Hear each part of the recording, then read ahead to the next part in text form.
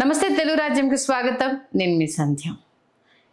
శ్రీకృష్ణుడు శశిపాలుడు వంద అంటే తప్పులు అయ్యేంత వరకు శిరఛేదన చేయకుండా ఎలా వెయిట్ చేశాడో ఒక్కొక్క మాటని అంటే నిండు సభలో ఆయనను దూషిస్తున్న సభ మర్యాదలను పాటించకుండా తిడుతున్న కొద్దీ ఒక్కొక్క వక్కని పక్కన పెట్టేసి అంటే ఆ తప్పును సరిదిద్దుకునే సమయం ఇవ్వాలి. సరే అంటే వంద లెక్క పెట్టారు. దానికి చూద్దాం ఈ లోపేమైనా తమాయించుకుంటాడేమో కొంత కంట్రోల్ అవుతాడేమో దాన్ని బట్టి మనం ఈయనను శిక్షించాలా లేకపోతే క్షమించాలా నిర్ణయం తీసుకుందామంటూ శ్రీకృష్ణుడు వంద తప్పుల్ని లెక్క పెడుతూ లెక్క పెడుతూ ఓపిక పట్టాడు.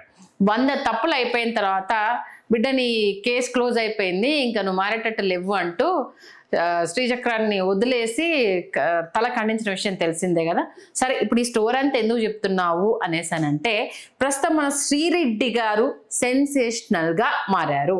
శ్రీరెడ్డి అరెస్టుకు రంగం సిద్ధమయ్యిందా అంటే ప్రస్తుతం ఆమె మీద నమోదైన కేసుల నేపథ్యంలో ఆమె పైన అరెస్టుకు రంగం సిద్ధమైందనే చెప్పాలి. ఈ నేపథ్యంలో కర్నూలు త్రీ టౌన్ పోలీస్ స్టేషన్లో టీడీపీ బీసీసీఎల్ నాయకుడు రాజు యాదవ్ శ్రీరెడ్డి చేస్తున్న అనుచిత వ్యాఖ్యలకు సంబంధించి ఇష్టం వచ్చినట్టుగా మా నేతల పైన ఆమె చేస్తున్న కమెంట్స్ను చూసి భరించలేక ఈ కేసు పెడుతున్నామంటూ మా యువ నేత మంత్రి లోకేష్ బాబు గారి గురించి కావచ్చు డిప్యూటీ సీఎం పవన్ కళ్యాణ్ గురించి కావచ్చు అలాగే హోంమంత్రి అనిత గురించి కావచ్చు ఎక్కడో కూర్చొని ఏంటంటే ఒక జిగుత్స కలిగించే మాటలు మాట్లాడుతూ రెచ్చగొట్టే విధంగా ఆవిడ చేస్తున్న వీడియోలు ప్రస్తుతము మాకు ఇబ్బందిని కలిగిస్తున్నాయి. దీనివల్ల మిగతా వాళ్ళు చెడిపోయే అవకాశం ఉంది అంటూ రాజు యాదవ్ కర్నూలు పోలీస్ స్టేషన్లో కేసు వేదేయడం జరిగింది. ఈ కేసుకు సంబంధించి ఆమె మీద రెండు సెక్షన్ల కింద కేసులు నమోదు చేశారు. ఎఫ్ఐఆర్ అయితే ఫైల్ చేశారు. ప్రస్తుతం శ్రీరెడ్డికి ఫోన్కి ట్రై చేస్తే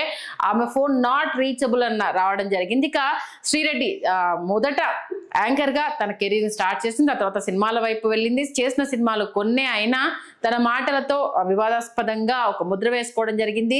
కాస్టింగ్ కౌచ్ అనేది అప్పట్లో ఎంత దుమారం రేపింది. శ్రీరెడ్డి దీనికి సంబంధించి ఏమేం వ్యాఖ్యలు చేసింది. తర్వాత సినీ వర్గంలోని కొంత ఆమెకు సపోర్ట్ చేయడము.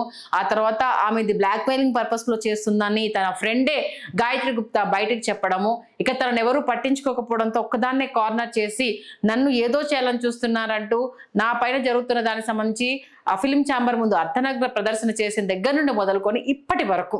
శ్రీరెడ్డి గురించి తెలియని వాళ్ళు ఎవరూ లేరు. ఇక ఇక్కడ ఆటలు సాగవు అని తెలిసిన తర్వాత ఆమె చెన్నై వెళ్ళిపోయారు. అక్కడి నుండే అటు జగన్ వీరాభిమానిగా వైఎస్ఆర్సీపీకి మద్దతు తెలుపుతూ అనేక వీడియోలు చేయడం కావచ్చు అనేక రకాల విమర్శలు చేయడము అలాగే ఆమె మాట్లాడే భాష కావచ్చు అంటే చేసే వీడియోలు కావచ్చు గతంలోనే కొంత ఇబ్బంది కలిగించే విధంగా ఉన్నాయంటూ పలు రకాలుగా కంప్లైంట్ చేయడం జరిగింది.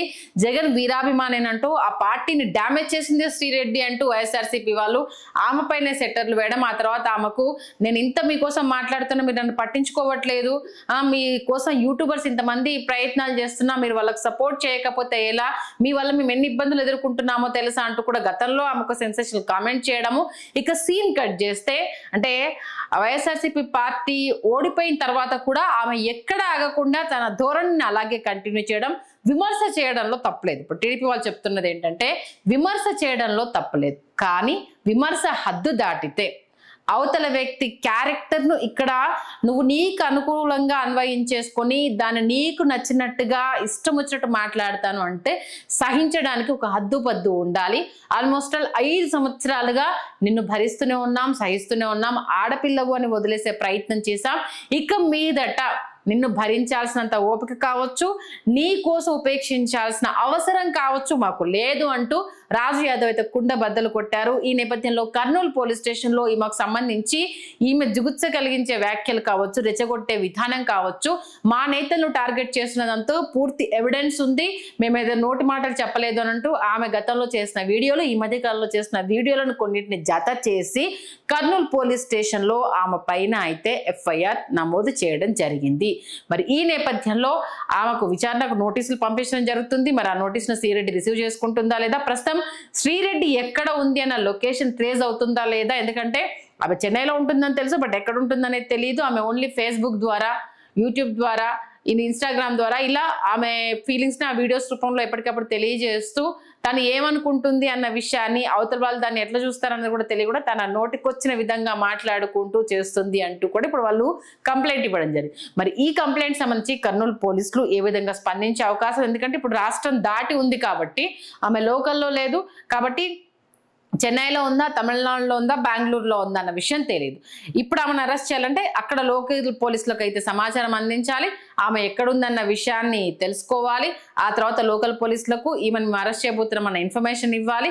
ఆ ఇన్ఫర్మేషన్ ఇచ్చిన తర్వాత శ్రీరెడ్డి ఆ వీడియోస్కి సంబంధించి మరి ఎలాంటి సమాధానం ఇస్తుంది? ఎందుకంటే గతంలో ఎవరు చేయలేదా? నేను ఒకదాన్నే చేశానా?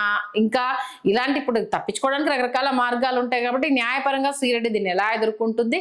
మరి ఇప్పుడు ఆ మీద ఫైల్ అయిన కేసు సంబంధించి మరి మిగతా ఇంకా మిగతా అంటే జిల్లాల్లో కూడా ఎందుకంటే తమ అధినేత మీద పెట్టిందనేసి బీసీసీఎల్ నాయకుడు తెర మీదకి వచ్చాడు. మరికొంతమంది నాయకులు కనుక తెర మీదకి వస్తే పెద్ద ఎత్తున కనుక కేసులు నమోదైతే శ్రీరెడ్డికి అయితే ముప్పు తప్పదు అన్నది క్లియర్ కట్గా తెలుస్తుంది. ఇన్ని రోజులు వైఎస్ఆర్సీపీ నాయకురాలు నేను వైఎస్ జగన్మోహన్ రెడ్డి వీరాభిమానిని పార్టీలో నాకు సభ్యత్వం లేకపోయినా చాలా సందర్భాల్లో కూడా అడగడం జరిగింది.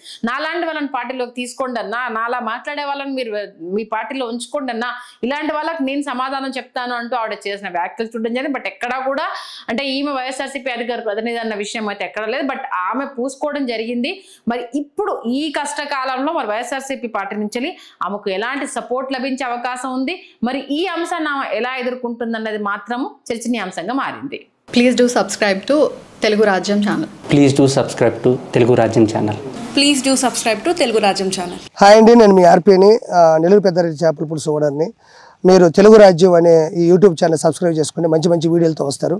Thank you so much Hi people, I'm Sonakshi Verma and uh, you please watch Telugu Rajam and please subscribe to the channel.